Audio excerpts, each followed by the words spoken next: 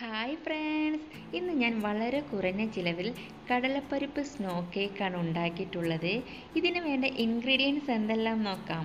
നൂറ് gram cook ചെയ്ത് വെച്ച കടലപ്പരിപ്പ് മൂന്ന് എഗ്ഗ് അര കപ്പ് പഞ്ചസാര പൊടിച്ചത് രണ്ട് ടേബിൾ സ്പൂൺ പാൽപ്പൊടി ഒരു ടീസ്പൂൺ വാനില എസൻസ് ഇനി നമുക്ക് രണ്ട് എഗ് വൈറ്റ് മാറ്റി വെക്കണം. യോക്ക് നമുക്ക് ജാറിലേക്ക് ഇടാം. ബാക്കി വരുന്ന ഒരു എഗ്ഗും കൂടെ നമുക്ക് ജാറിലേക്ക് ഇട്ട് കൊടുക്കാം.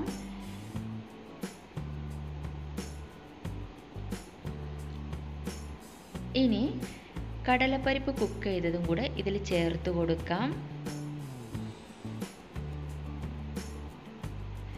പാൽപ്പൊടി ആഡ് ചെയ്യാം. പഞ്ചസാര പകുതി ഇപ്പോൾ ചേർത്ത് കൊടുത്താൽ മതി. ബാക്കി പകുതി മാറ്റി വെക്കാം. കുറച്ച് ഉപ്പുപൊടി വാനില എസൻസും പകുതി മാത്രം ഒഴിച്ചു കൊടുക്കുന്നുള്ളൂ. നമുക്കിതൊന്ന് അടിച്ചെടുക്കാം.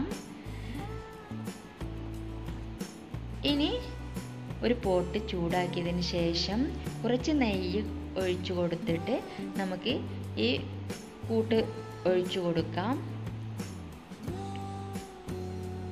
നമുക്കിത് ഒന്ന് അടച്ചു കൊടുക്കാം. പത്ത് മിനിറ്റ് വേവിച്ച് വെച്ചാൽ മതി. അപ്പോഴൊക്കെ നമുക്ക് എഗ് വൈറ്റ് റെഡിയാക്കി എടുക്കാം.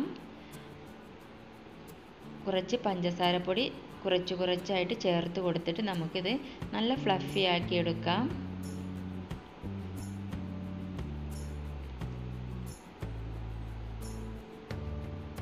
കടലപ്പരിപ്പ് ആദ്യം കുതിർത്ത് വെക്കണം കേട്ടോ എന്നിട്ട് കുക്ക് ചെയ്യാൻ പറ്റുള്ളൂ.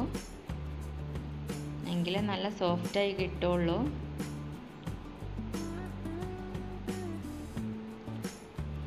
ഇനി വീണ്ടും പഞ്ചസാരപ്പൊടി ഇങ്ങനെ ചേർത്ത് കൊടുത്തിട്ട് ഇതുപോലെ വീണ്ടും അടിച്ചു കൊടുക്കാം. ഇപ്പോൾ എഗ് വൈറ്റ് റെഡി ആയിട്ടുണ്ട്. ഇനി നമുക്ക് ലിഡ് തുറന്നിട്ട് ഇതിങ്ങനെ എഗ് വൈറ്റ് ഇതിന്റെ മുകളിലേക്ക് ഇങ്ങനെ ആഡ് ചെയ്ത് കൊടുക്കാം.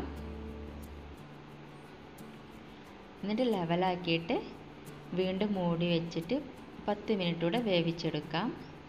ഇപ്പോൾ നമ്മുടെ കേക്ക് റെഡി ആയിട്ടുണ്ട്. ഇനി നമുക്കിത് ഇങ്ങനെ ഫ്ലിപ്പ് ചെയ്ത് കൊടുക്കാം.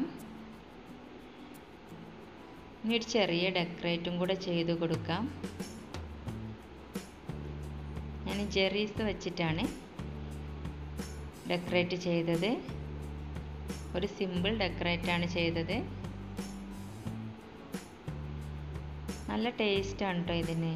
കടലപ്പരിപ്പ് കേക്കിന്റെ ആ ടേസ്റ്റും പിന്നെ ഒരു സ്നോ പുഡിങ്ങിന്റെ ഒക്കെ ഒരു ടേസ്റ്റും കൂടാണ്. രണ്ടും കൂടാണ് ഇതിന് വരിക. നിങ്ങൾക്ക് ഇഷ്ടപ്പെട്ടെങ്കിൽ ട്രൈ ചെയ്യണം. ഓക്കെ? Bye friends.